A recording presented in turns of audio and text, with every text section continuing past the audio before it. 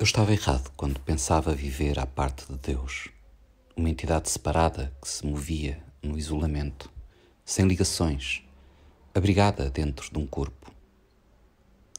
Agora sei que a minha vida é a de Deus, que não tenho outro lar e que não existo à parte dele.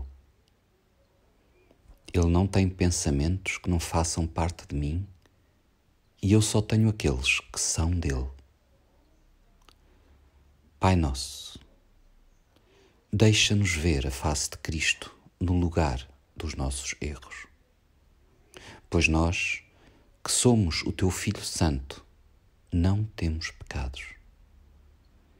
Queremos contemplar a nossa impecabilidade, pois a culpa proclama que não somos o Teu Filho.